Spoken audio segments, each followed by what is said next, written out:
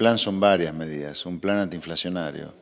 Yo diría hoy lo mínimo que habría que hacer es eh, congelar el gasto público, después de despedir absolutamente, ponerla todos en la calle, a todos los miembros de la Cámpora, por ejemplo. A la Gran Macro, por ejemplo, que está infectando la Universidad de Buenos Aires. Así que congelamiento para el gasto público, salvo para la Cámpora y para la Gran Macro. Eh, y luego poner las tasas de interés en un nivel más razonable, más cerca de la inflación.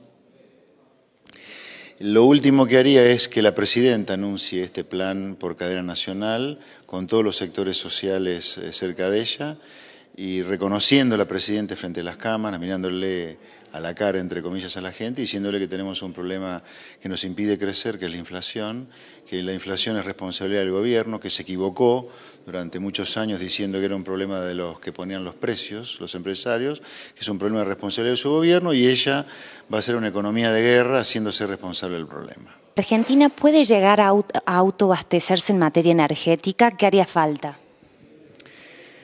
Mire, eh, los 90 tuvieron muchas cosas malas, pero lo único rescatable que tuvo los 90 sin duda fue la reforma pro mercado que se hizo, que no tiene nada que ver con la crisis de 2001. La Argentina, de la mano de un decreto del expresidente Menem de desregulación petrolera, no solo se transformó en un país que se autoabastecía en materia energética, sino que logró exportar energía. Así que Argentina ya supo lo que era autoabastecerse y exportar energía.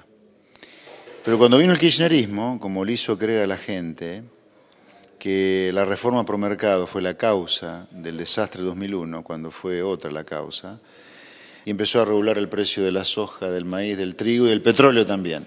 Es así que Argentina se transformó en importador de petróleo, más allá del caso puntual eh, de lo que ocurrió a partir de 2008, con la intervención de los eskenazi, que fue un desastre.